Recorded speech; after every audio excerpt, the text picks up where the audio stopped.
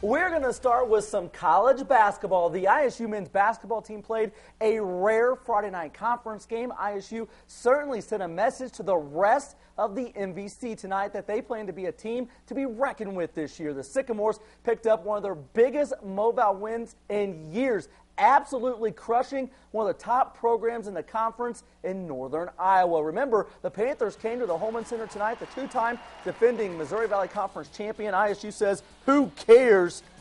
Aaron Carter, three. Sycamores on a 7 0 run. And then it's Jake Odum, the spin. And 15 footer, the former Terre Haute South Brave, and ISU freshman had 10 points, 7 assists. Dwayne Lathan, the trifecta. That caps a 16 0 run by ISU. The Sycamores were up 18 2 to start the game. No one on ISU is playing with more confidence than true freshman Steve McWhorter. He's good from downtown. ISU up 21 5. ISU's defense was unbelievable tonight. UNI didn't score the first bucket of the game until the 10:36 mark of the first half. They held UNI to 23% shooting in the game.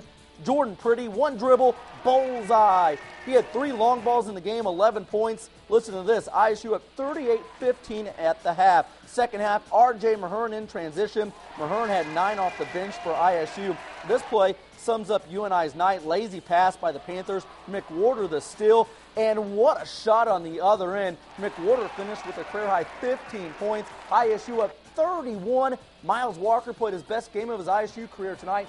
Throw it down, big fella. Walker had 10. ISU wins 70 45 over Northern Iowa. The 25 point win is ISU's largest MVC victory since 2008. The Sycamores improved to 8 and 7 on the season. They're 3 and 1 in the MVC after the game. ISU head coach Greg Lansing said the defense his team played tonight, they learned it from none other than the team they pounded tonight in Northern Iowa. At the start of the year, we showed our guys defensive clips of Northern Iowa, uh, and we called it championship defense. Uh, they do everything. They're, they're, into the ball. They're active. They talk. Uh, they help each other.